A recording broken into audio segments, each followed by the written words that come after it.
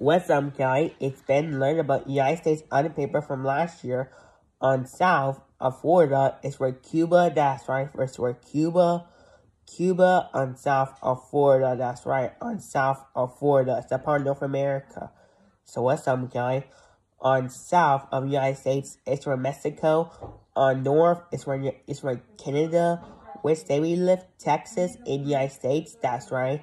So it means we live in Texas, in the United States, that's right. So, which country I live? It's Canada, that's right. So, or Cuba, or Mexico, that's right. So, Cuba on south of Florida, that's right. On the island, we're, we're going to be by, by Cuba, we're in Disney, that's right. So, we're going to be pr pretty close, that's right, to Cuba, that's right. So, Cuba is a country on south of Florida. So, probably by gas gas.